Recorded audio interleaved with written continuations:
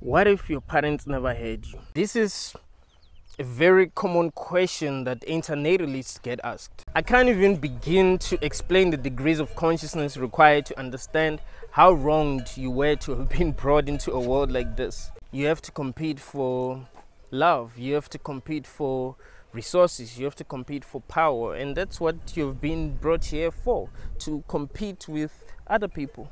You might not see life that way because you've been brainwashed, but every time when you wake up and you go to school, you are competing with other people. Every time when you wake up and go to work, you're competing with other people. There's a reason why you want to score higher than other people. There's a reason why you want to make more money than other people. 6, 97, 98, 99.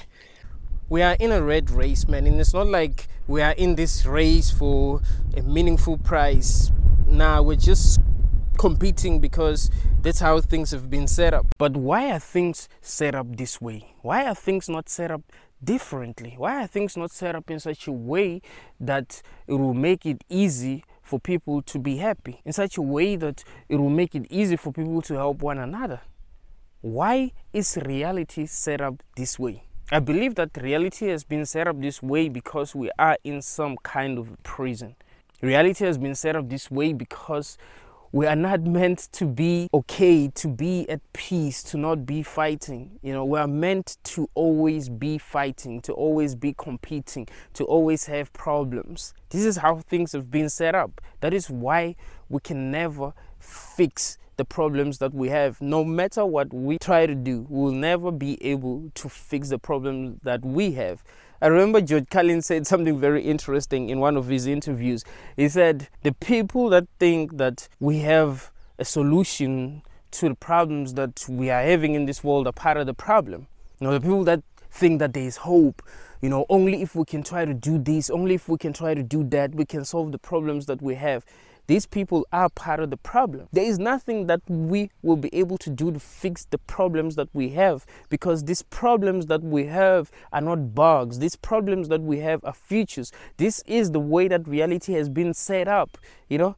There's nothing you can do to change that. That is why it's important that you don't bring more people here. Having children is really the biggest sin in the world because no one chooses to be born. That's like if you kidnapped a person and put them in a place and then gave them rules to follow, you told them that if they don't follow these rules, they are going to get punished. Actually, if they break the rules that you told them they should follow, they're not really doing anything wrong. You are the one that has done something wrong by kidnapping them and putting them in a place where they have to follow the rules that you have created for them. You see, people are just working with what they have. No one even chooses where they are born. No one chooses what they get to deal with in life. No one chooses their genes. No one chooses their parents. No one is here by choice. We are um, hostages here. But really, the question is why are things set up the way that they've been set up? I'll tell you why. Things have been set up the way that they've been set up because we are prisoners here. We are hostages here. We are not free. We are supposed to suffer. And that is the truth. Ask yourself this question why is it that once you start seeing things as they really are, you feel more alone? You start to feel sad, you start to feel depressed, you start to feel like you must isolate yourself. It's people that don't see things as they are that think that this world is actually good. People that are seeing things as they are are the people that are saying that no, actually, this world is not good. Now, this reality has been presented to us in such a way that it will actually seem good. It's only after you start thinking deeply about everything that you are seeing that you actually realize that nah, something isn't right. There's these pictures that I've seen with hidden messages created by artificial intelligence. For an example, you'd see a picture of a goat and think, oh, that's just a goat. But when you squint your eyes, you actually realize that no, there's a hidden message in the picture you see something different when you squint your eyes. That's kind of how this reality has been set up. You don't really see things as they are. Nothing is what it seems, you know.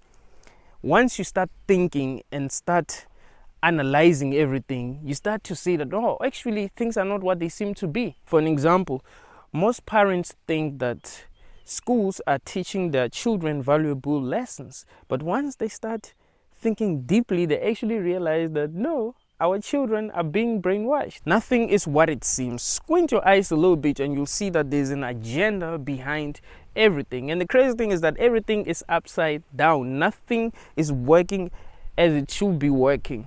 And we all can see that nothing is working as it should be working. That is why we're constantly trying to fix this system. We feel like there's something that is broken, there's something that needs fixing.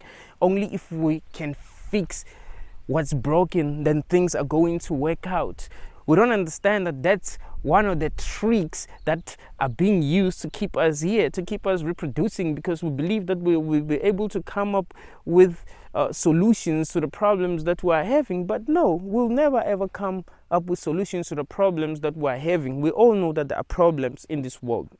There isn't a person that doesn't know that there are problems in this world. Even the most religious people know that there are problems in this world. That is why Christians, for an example, believe that there's a heaven. You know, they believe that there's a heaven because they realize that there is a problem in this world. Even the Bible says that this world is not good. Even the Bible says, oh, this world is not good. There's a world that is actually good. There's a world that is better than this. There's a world where people will be happy, you know, where there will be no suffering. Every person knows that this world is not good. The problem is that we think we can fix it. The people that came before us thought that they can fix this world. But no, they've never been able to fix this world. You know, that is why there are still so many people that are suffering and they are not suffering because they are not doing things right. They are suffering because this world has been set up in such a way that some people get to suffer. You know, it's like there are some entities that are benefiting a lot from our suffering. You know, the only people that are actually benefiting from the system that's governing us are the people that are at the top, you know, the billionaires. These are the people that are benefiting. The poorer you are, the harder your life is going to be, the harder it's going to be for you to actually benefit from this system because it wasn't even created for you. It wasn't even created by you. It was created by people that have power, the people that have money, the people that are making the decisions in the world. They're not making these decisions for your life to be easy. They're making these decisions for your life to be hard so that their lives will be easy.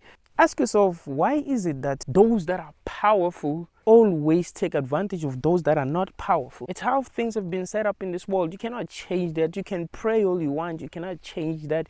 You can say that these people are part of the Illuminati and they are going to hell and your life will be better in the afterlife but that's not going to change anything the truth is that you are suffering because you are in this world now back to the original question what if your parents never had you the answer is simple you wouldn't be here just like all the people that were never born